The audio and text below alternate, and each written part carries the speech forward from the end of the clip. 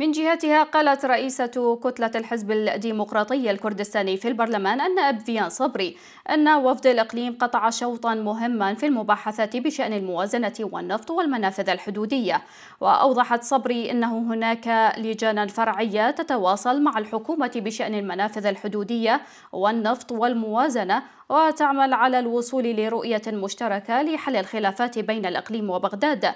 وأعربت عن تفاؤلها بالتوصل إلى اتفاق يمكن تطبيقه بشأن الموازنة وحصة الكرد فيها مرجحة حصول الإقليم على نسبة تتراوح بين 14% و 15% على أن تبقى تلك النسبة مرهونة بكميات النفط التي تطالب بها الحكومة الاتحادية الإقليم وتسلم إلى شركة سومو.